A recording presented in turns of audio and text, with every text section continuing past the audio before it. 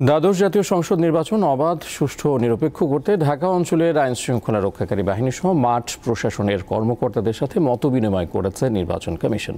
সকালে রাজধানীর আগারগাঁওয়ের নির্বাচন ভবন অডিটোরিয়ামে মতবিনিময় সভা অনুষ্ঠিত হয়। ঢাকা বিভাগীয় কমিশনারের কার্যালয়ে আয়োজিত মতবিনিময় সভায় প্রধান অতিথি হিসেবে উপস্থিত ছিলেন প্রধান নির্বাচন কমিশনার কাজী হাবিবুল আওয়াল ঢাকা বিভাগীয় কমিশনার ও রিটার্নিং অফিসার মোহাম্মদ সাবিরুল ইসলাম এর সভাপতিত্বে মতবিনিময় সভায় নির্বাচন কমিশনার মোহাম্মদ আলমগীর ও নির্বাচন কমিশন সচিব মোহাম্মদ জাহাঙ্গীর আলম উপস্থিত ছিলেন। ঢাকা ছাড়াও গাজীপুর, নরসিংদী, নারায়ণগঞ্জ, মুন্সীগঞ্জ ও মানিকগঞ্জ জেলার আইন শৃঙ্খলা রক্ষাকারী বাহিনী ও মাঠ প্রশাসনের ঊর্ধ্বতন কর্মকর্তাগণ মতবিনিময় সভায় উপস্থিত ছিলেন।